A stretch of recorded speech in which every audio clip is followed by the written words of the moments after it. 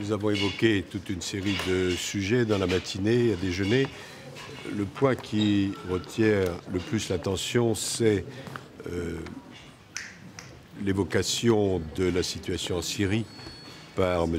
Lagdar Brahimi, qui est euh, le représentant euh, du secrétaire général des Nations Unies de la Ligue arabe. Il nous a décrit la situation en Syrie et dans les pays voisins. Nous sommes deux ans, presque jour pour jour, euh, après le début de la révolution syrienne. Et la situation qu'a décrite Lagdar Brahimi, c'est une situation absolument épouvantable, effroyable sur le plan euh, humain. Plus de 70 000 morts, euh, plus, nettement plus d'un million de personnes réfugiées, des pays comme la Jordanie et le Liban, où un cinquième de la population euh, est composé de réfugiés syriens. Et pendant ce temps-là, M. Bachar al-Assad continue à torturer, à assassiner.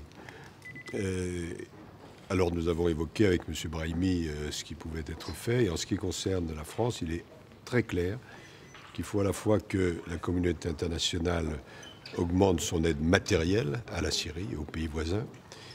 Il est évident aussi qu'il faut, sur le plan politique et diplomatique, euh, utiliser tous les contacts, tous les canaux. Nous le faisons en liaison avec les Américains, les Russes, les Arabes, pour euh, essayer de trouver une solution politique. Mais, et j'insiste là-dessus, il me paraît évident aussi que euh, la question d'une levée de l'embargo sur les armes se pose de plus en plus, car nous avons euh, un déséquilibre évident entre euh, Bachar el-Assad, qui est alimenté par des armes venues d'Iran et de Russie, qui sont des armes puissantes, et la coalition nationale qui ne dispose pas de ces mêmes armes.